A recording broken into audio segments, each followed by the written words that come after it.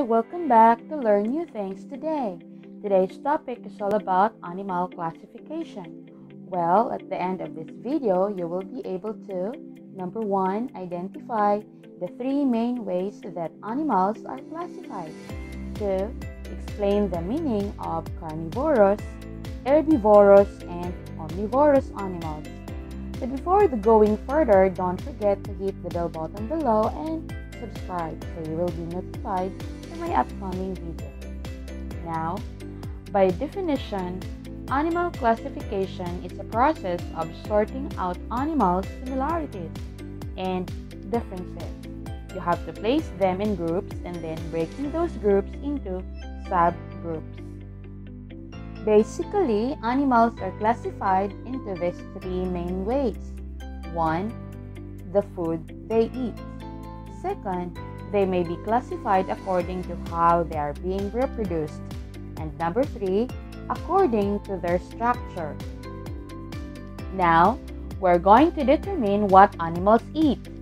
Animals can be classified by the food they eat, whether they eat other animals, plants, or both. Those animals that considered animals as kind of food are called carnivores. Carnivores only eat other animals. Carnivores feed on animal tissues in order to gain energy because they have a strong characteristics which includes speed, strength, and keen senses for hunting, as well as claws and teeth for tearing and capturing prey. Examples Lion eating a zebra, tiger eating a crocodile. There are some examples of carnivores like fox, wolf, lion, and shark. But how about those animals considered plants are food? They are called herbivores. Herbivores comes from a Latin word herba, which means green plants. That's what herbivores eat leaves, grass, and other plants. Herbivores have developed different types of digestive system able to handle large amounts of plant material. They have eyes on the side of their heads generally, which allow them to have a wider field of vision, allowing them to see all around without even moving their heads.